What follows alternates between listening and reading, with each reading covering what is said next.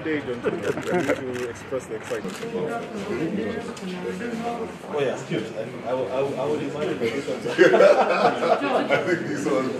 uh, Telkom Kenya, in a partnership with uh, LipaLater, is addressing a very important need uh, as far as citizens and uh, customers in this country are concerned.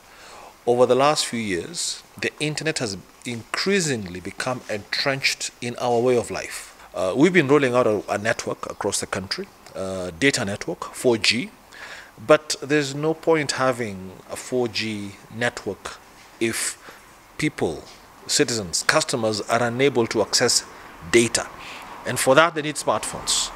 And smartphones, unfortunately, are a little expensive and therefore out of reach for many of our fellow citizens. And so we're very pleased today to announce our partnership with LipaLater, which allows um, a large majority of our fellow citizens to be able to access smart devices in an affordable manner through longer term payment plans so that you don't have to save to, to spend months and years saving up in order to access a smart device but LipaLater allows you to be able you know gives you um, allows you to be able to get access immediately to a smartphone uh, over 5,000 shillings and have a longer term payment plan up to 12 months. We view this partnership as a very important um, uh, uh, way for all Kenyans to access uh, smart devices and access uh, internet.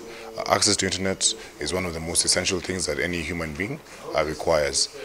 for us and uh, LipaLater and Telkom, we're going to enable all Telkom subscribers to be able to sign up get a, a, credit limit and be able to pay for the, the uh, smart devices over 12 months. Uh, in terms of devices that uh, uh um, Telkom subscribers can access, they can access all mobile phone devices uh, priced from 5,000 shillings uh, um, upwards. Any device and they're able to pay for it in 12 months.